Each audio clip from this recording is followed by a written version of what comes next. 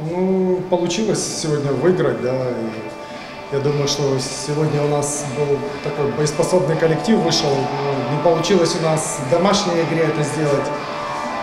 Но получилось сегодня. Я благодарен ребятам, что они выполнили практически э, установку на игру, да, отрабатывали, закрывали зоны.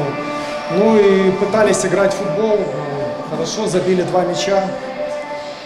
Так что, ну, есть над чем работать, конечно, еще, поэтому будем, будем стремиться повышать все-таки наше мастерство, потому что много было брака, неоправданных ошибок в центре поля, поэтому есть над чем работать.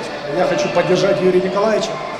Мы с ним и в сборной поиграли, и в штабе сборных проработали.